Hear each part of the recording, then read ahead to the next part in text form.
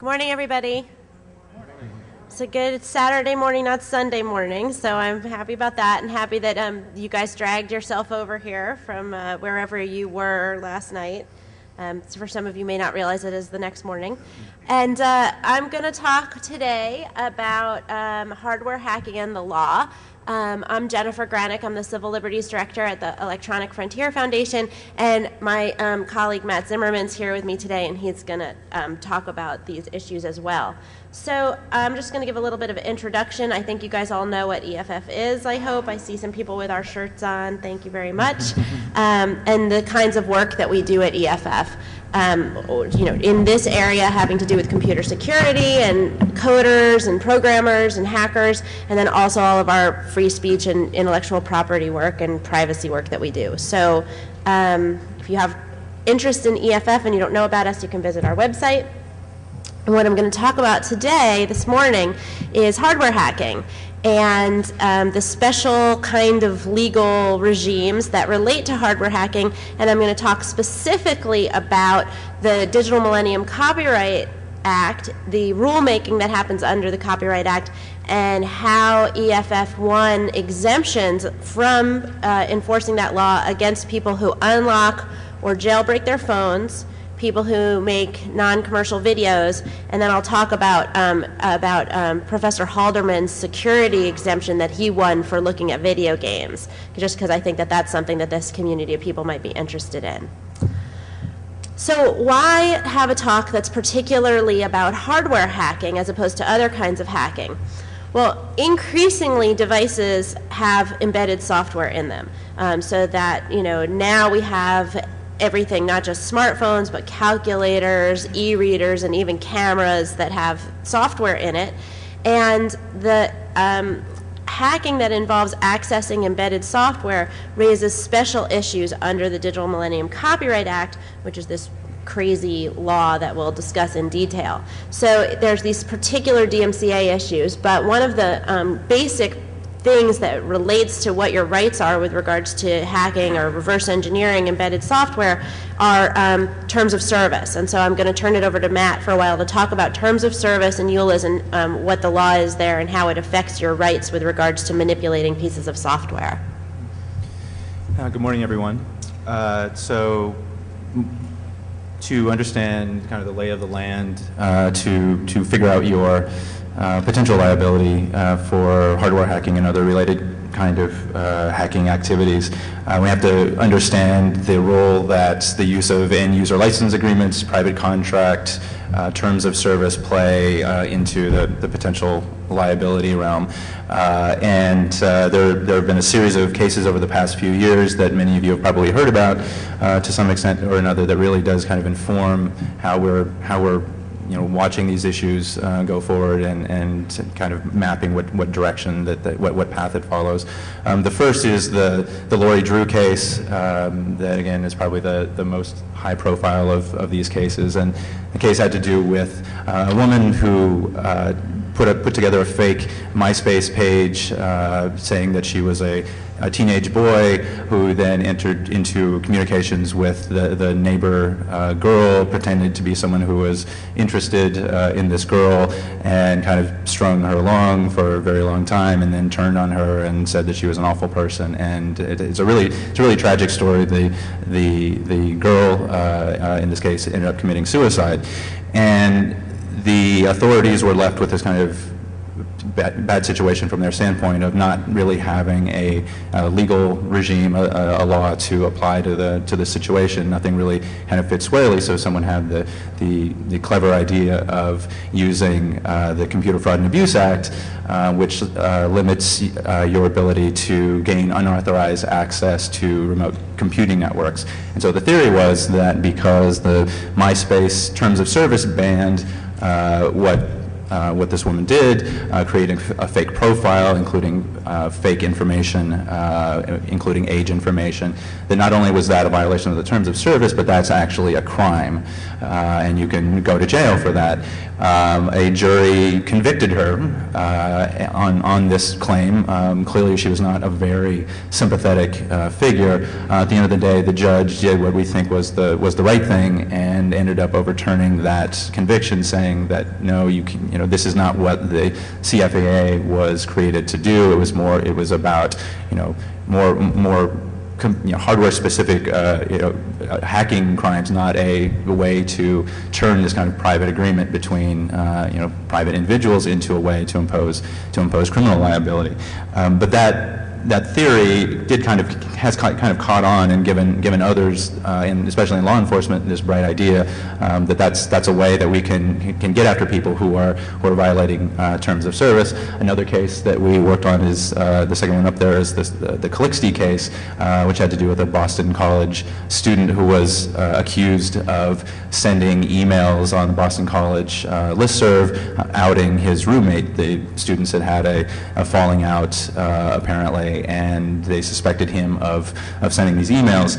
Um, I, I, this isn't directly on point, but I, I, thought I would mention at least a couple of the things that are in the uh, in the uh, statement of probable cause that you that you might find interesting. Is these are these are bits of information that uh, given to the judge to let him so that the judge could decide whether there was probable cause that he might have committed this so-called crime.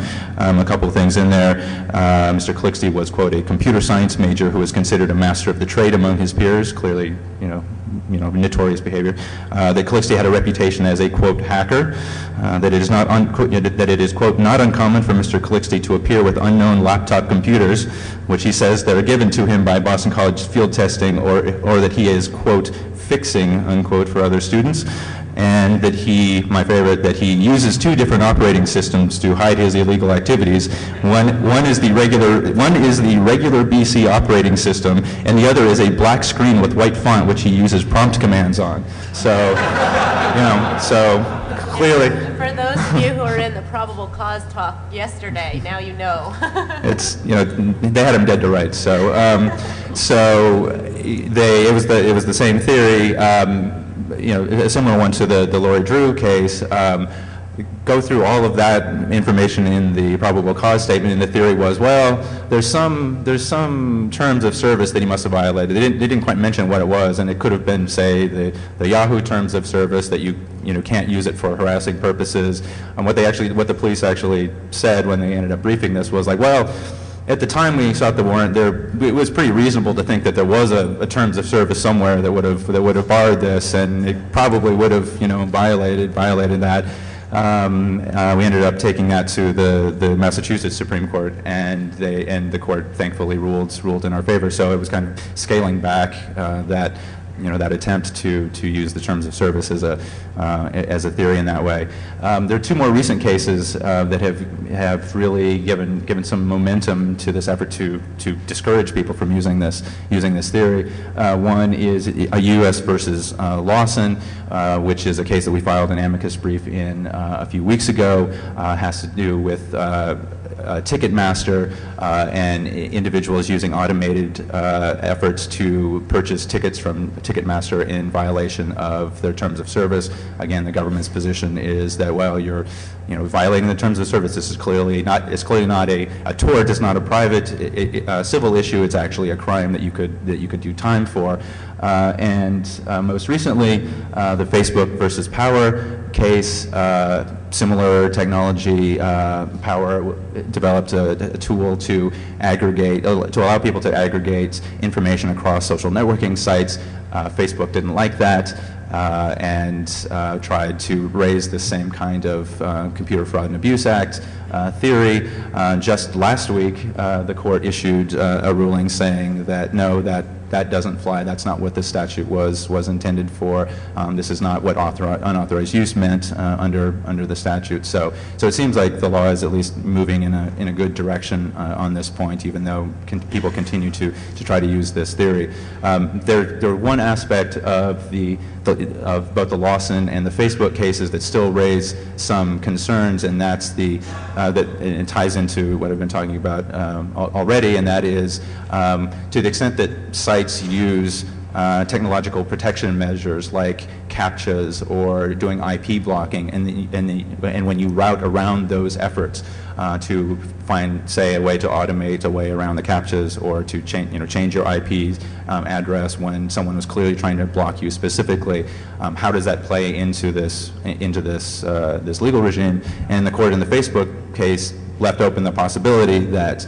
uh, that you know if you knew if you circumvented an IP block that could actually mean that you've gained unauthorized access to the system, whereas just the generalized terms of service violation may not may not impose liability. Doing doing something else above and beyond that may may very well impose impose liability, and that, that issue is still still live in the in the Lawson case. So um, so this all to come full circle all becomes important. Um, it's not just simply relevant for website uh, usage. It's, it, it, implicates really what happens when someone slaps a terms of service on their product, um, not only their service but their product. Their, you know, can, can someone add a, add a license agreement to their product saying that you know you're not allowed to you know, do X, Y, and Z, and can, can you not only find yourself in trouble when, if they sue you, but can you, can you also find yourself in jail? So I'd be interested just generally in what people think about that circumvention issue because we've tried to, you can see what we said about it in the Facebook case and in the uh, case where we discussed the questions of what kind of technological measures are when circumvented equal unauthorized access.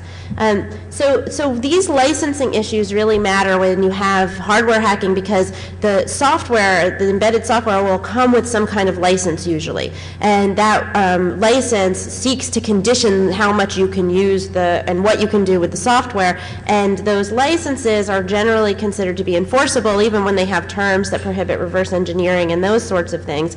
Um, and the licenses often will say that you're not the owner of the copy of the software, that the copy of the software is actually just lent to you, and that um, the ownership rights remain with the remain with the company. And all of that implicates what your rights to do um, security testing or reverse engineering are under the copyright law. So I'm going to talk a bit about the copyright law, about the DMCA, and uh, show you some of the problems with this law, and then talk a bit about the rulemaking and how we got around some of these things.